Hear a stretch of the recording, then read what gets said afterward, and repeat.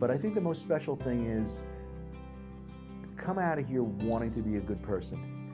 And, you know, when you ask, did we do a good job with, you know, kids in a particular class or something like that, wait 20 years. See what kind of adults they are.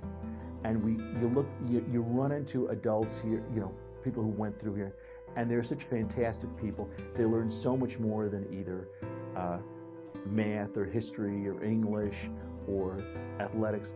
They learned what was really important in life. And I think that so many of our alumnus are such great people. It- you know, it, that's what I think is really special about the school.